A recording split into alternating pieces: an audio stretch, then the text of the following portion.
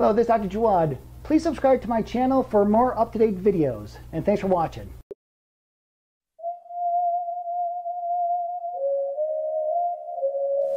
Hello everyone, this is Dr. Jawad. In this short video, I'm going to talk about a phenomenal supplement that I recommend to anyone, male or female, and it's the purpose of the supplement is to block estrogen. The, the supplement is called DIM. And the function of DIM is, again, it's an estrogen blocker. DIM is a concentrated phytonutrient, and the phytonutrients, that comes from the cruciferous vegetables, like the broccolis, the cauliflower. And the function of it is to block the excessive amounts of estrogen, but also, too, it helps balance out the good and the bad estrogen, especially when it comes to females.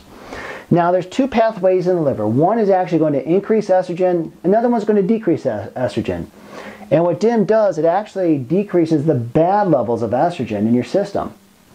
Now, the symptoms for females, when you have estrogen dominance, you may experience facial hair, you may experience female issues, PCOS, oily skin, menopausal, premenopausal phases. Again, when you, especially when your body is going through that shift with the estrogen dominance. Estrogen dominance is basically it's not a good thing in females. Now in males, when we have estrogen dominance, what's going to happen? We have a lower testosterone. Because if we, it's like a teeter-totter. If we, we want to have high testosterone, low estrogen. However, as we get older, the testosterone level decreases, and inadvertently, the estrogen level increases. So this is where in males, you get a higher voice. You get prostate issues. Prostate issues is not a testosterone thing. Prostate issues is actually an estrogen thing. You lose your body hair. Now the question is, how do we get excessive amounts of estrogen? Very simple, fat. You eat it. You're fat. Fat cells love estrogen.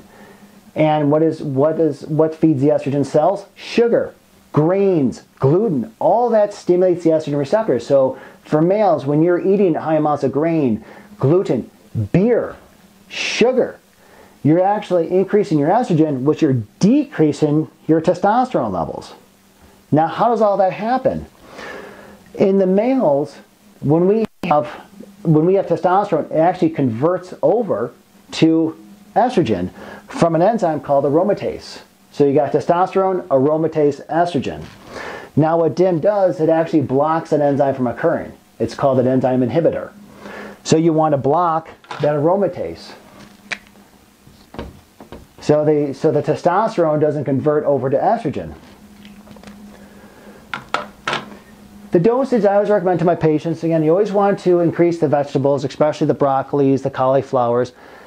I recommend, the brand I always recommend is Nature's Way. I'm not promoting it. This is just one that I've always used for my patients. And I always recommend about 200 milligrams a day. And you take it, uh, take it in the morning. Again, to help balance out that testosterone, the bad estrogen levels. Okay, so hope you enjoyed the video. I'll see you in your next one. Thank you.